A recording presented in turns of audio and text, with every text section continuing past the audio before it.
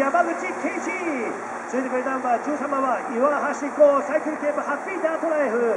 それでベイナンバー136番は大橋薫それでベイナンバー23番は松田洋86グラフィックスエンドストリームクルイフィット。それでベイナンバー40番は及川陽一 A 点それでベイナンバー151番は新井義雄以上6名です。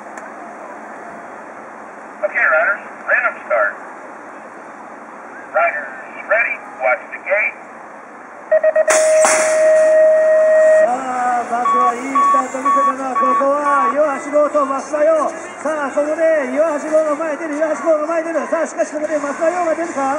さあ今日の作戦はここはどうだ？岩橋号が逃げる。さあその後は増田洋の王さあそしてここでさあ第3これおーここは2番手に上がしかしここでさあさあ増田山口健一がここで2番手に上がる。さあそして3番手は増田洋だ。さあそして3番手はまあ4番手には大橋薫さあしかしトップは岩橋剛だ。岩橋剛が逃げる岩橋剛が逃げる。さあ岩橋剛それに山口健一が続くか。さあそしてこのままレースが決まるのか。さあそれで最後優勝は山口健一だ。第2位は岩橋剛第3位は松田洋だ